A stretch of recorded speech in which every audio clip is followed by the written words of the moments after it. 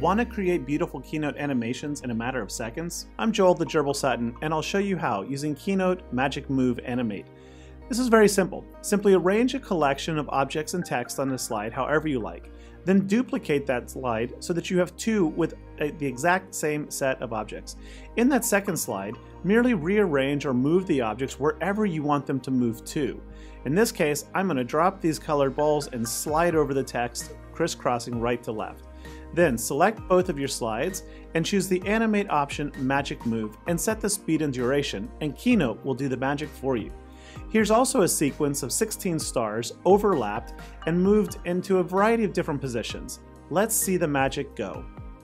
If this video was helpful, hit the like and subscribe button and let me know what you'd like to see more of in the comments below.